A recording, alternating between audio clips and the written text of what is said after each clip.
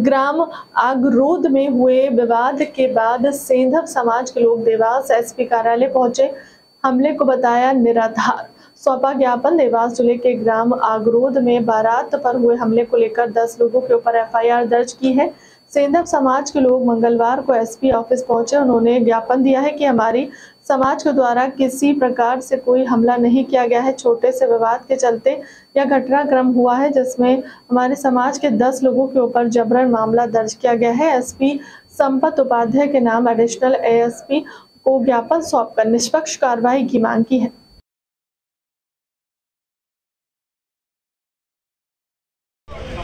भाई साहब बताएँ किस विषय को लेकर आप देवास एसपी कार्यालय पहुँचे और आपने ज्ञापन भी दिया?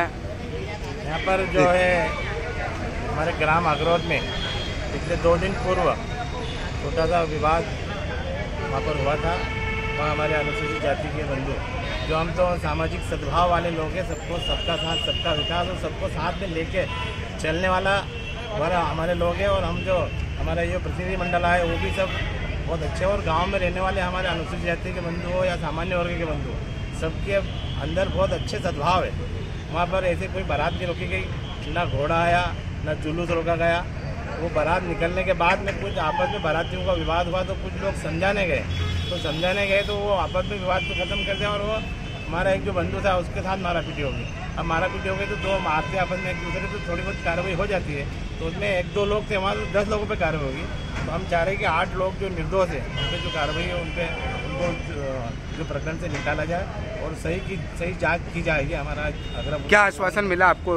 एस पी साहब ने कहा है कि हम जाँच करके जाँच करेंगे किसी की और निर्दोष लोग रहे तो उनको बाहर करेंगे सर जम्मू से कोई सामाजिक लोग आए थे कोई विवाद का मामला था? क्या कुछ मामला था सर?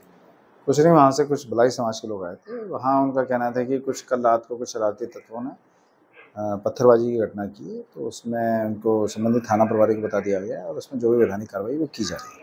सर आपके द्वारा बताया गया है कि पाँच तारीख को वहाँ जाके ग्राम निवासी चर्चा भी की जाएगी। क्या कुछ कैसे वहाँ कुछ समय से कुछ जो है दो समाज के लोगों के बीच में कुछ विवाद छोटी छोटी बातों पर हो रहा है।